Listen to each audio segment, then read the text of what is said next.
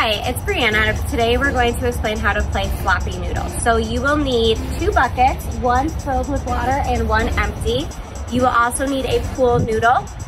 And then we taped a cup on top and then you will also need a line of tape down below.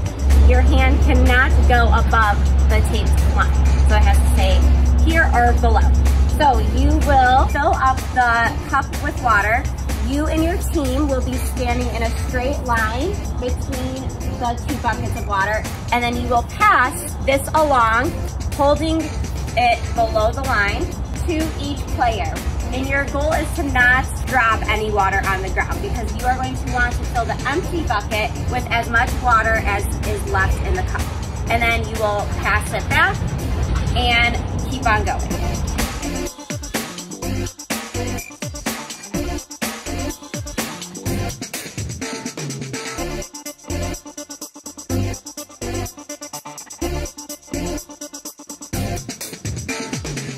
Right, so now we are going to show you the version of Floppy Noodle where you can break into teams. So if you have about four or more people, you can break evenly. So now it's the same exact concept except you are passing it to your team member and you're racing back and seeing who can fill the empty bucket to the desired line the quickest. All right, so we are going to show you how that looks. Three, two, one.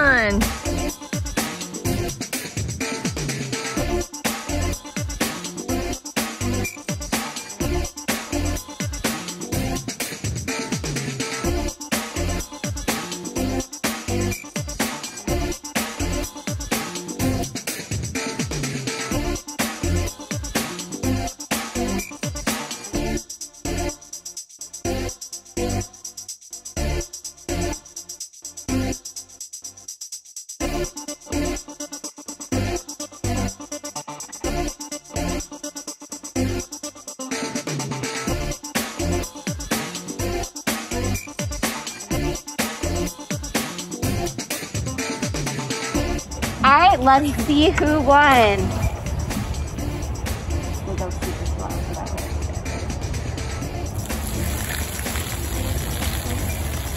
Woo! Ooh. Blue team. I think it was a tie. Blue team. All right, so now we are going to show you the version if you want to play by yourself.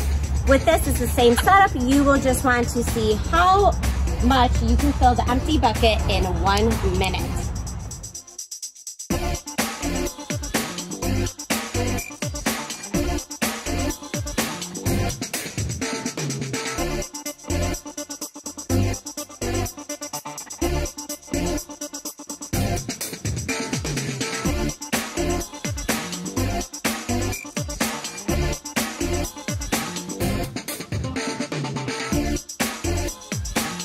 Mr. Callen, let's see how much you got.